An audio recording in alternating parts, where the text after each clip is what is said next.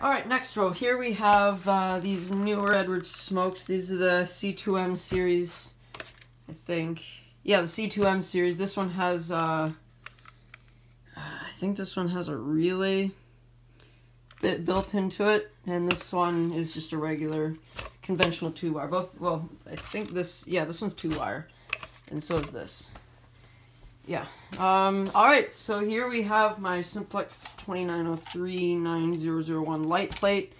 This and the the 9806, these both came together. These came on, I found them on eBay, luckily. It was a very, very lucky find, very good price. And apparently from what I've heard, these came out of a, a uh, hardware store.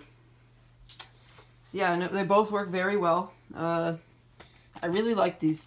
These are probably my favorite simplex devices, the 29, because they're very, they're very aesthetically pleasing to the eye, I guess. I don't know what the word is. They, just look good, and they're very easy to work with, because there's only, like, two things of wires and whatnot. Though the 9806, which I'll go into a bit later, can be tricky. Uh, here is my Edwards Integrity. Um, and before I made a mistake, I said this was a 757 7AT. Uh, my mistake, it was actually an 8 AT because the 8 ATs means 110 Candela. Unenhanced, but this came out of a building, uh, or like a system upgrade. Uh, it was made on the 20, 22nd week of 2000, though this says 1999. That, and if you ever wonder what where the date codes on these things are, they are right there those little numbers there, 9948, that's the date code. There's also a date code on the identification label, focus, 00220. Anyway, so here we have my two Simplex T-bars. Here we have my 4251. Very simple. Everyone's have you've all seen what these are. This is the older version with the uh, well, this one has replacement lock. This is the older one with the uh, different handle.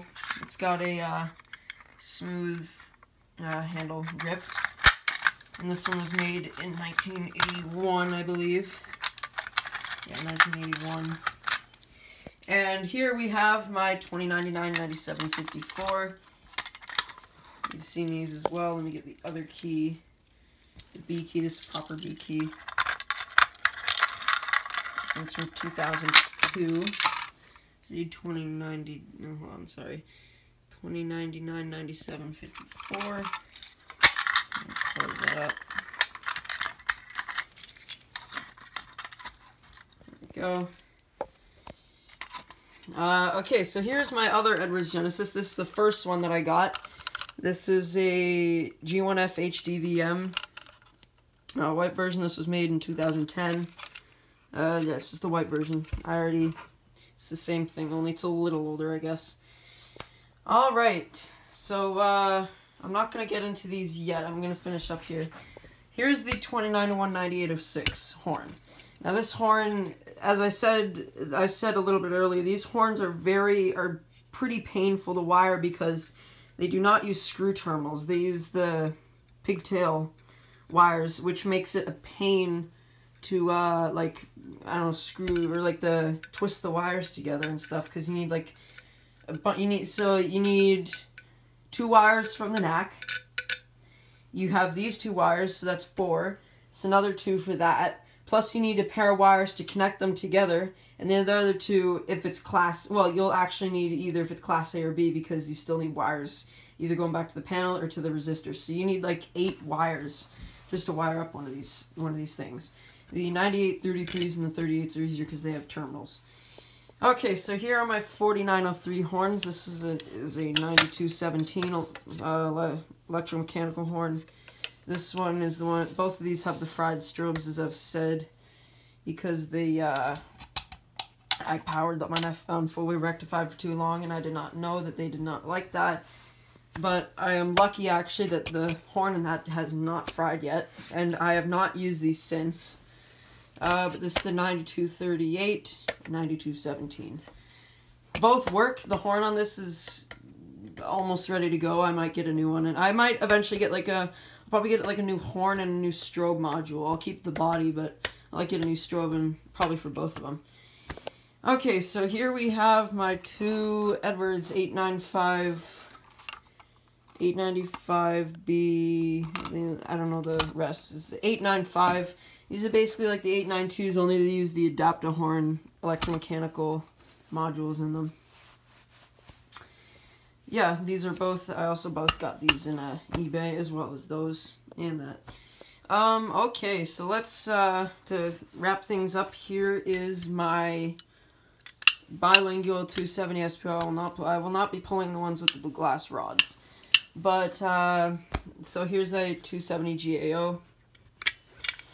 Here's another 270 GAO. A lot of these came, these one, these came from the hospital. This one came from the hospital. It's a newer one.